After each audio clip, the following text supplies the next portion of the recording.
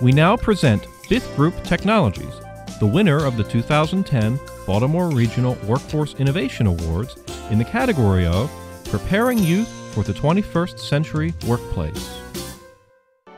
Bith Group Technologies is an IT consulting firm that I started about 17 years ago.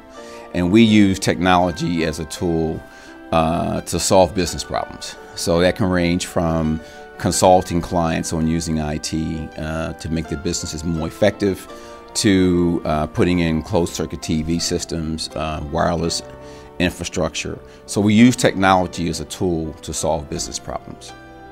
Bith Group started about four years ago a STEM program, uh, which is science, technology, math, and engineering. And what we were seeking to do was to accelerate the pool, or to, uh, to increase the pool of scientists and engineers that we could hire in our company. Our company's growth is constrained by how many talented scientists uh, and engineers that we can find to, to hire. So we decided to create our own program that will allow us to, to grow, if you will, our own scientists and engineers. We started the program uh, focusing primarily on African American boys. Because if you look at the, the scientists and, uh, and um, engineers that are coming to be today, that African American boys are very much underrepresented. So we started with looking at kids from Cherry Hill, which is where I was raised in Cherry Hill. And uh, we found some, some young men there to bring into our program in the first year. We then got a call from the county executive of uh, Howard County, Mr. Ken Ulman, and he asked us would we include some kids from uh, Oakland Mills High School.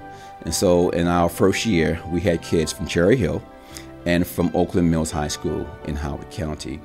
We took them through a eight-week program that allows them to get involved in the same technology areas that we're involved in, robotics, um, energy, engineering, information technology services. And we, met, uh, we, we matched them up to managers in my company in those different areas. And so they spent eight weeks working with these managers in real life, on real life projects and real hands-on experience. Since we started our STEM program about four years ago, we have touched probably 25 to 30 young people. Um, we started uh, initially with high school age students, but recently we've taken on college level students. We started with just boys initially, but now we've expanded. We now have young ladies also.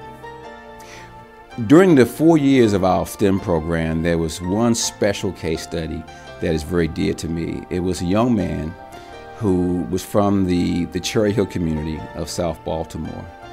He was special to me because he was very similar. His background was very similar to mine.